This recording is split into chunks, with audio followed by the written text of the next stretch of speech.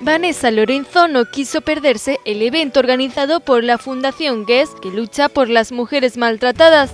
Allí la modelo y madre de dos niñas aseguró que la educación es lo más importante en este aspecto. Siendo madre, ostras, me preocupa muchísimo qué mensajes damos a nuestros hijos.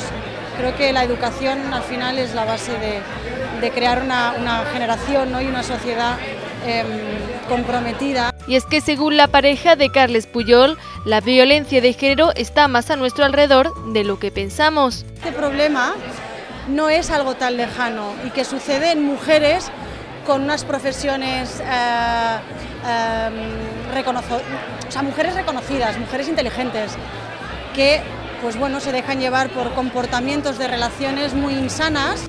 Así, aunque Manuela aún no puede entender lo que sucede, se siente orgullosa de la educación que le está dando y del carácter de su hija mayor de dos añitos. Qué maravilla que crezca como una mujer que impone lo que desea y lo que no desea.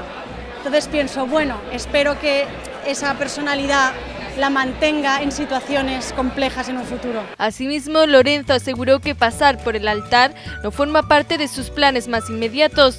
Ahora está totalmente volcada en el cuidado de sus hijas.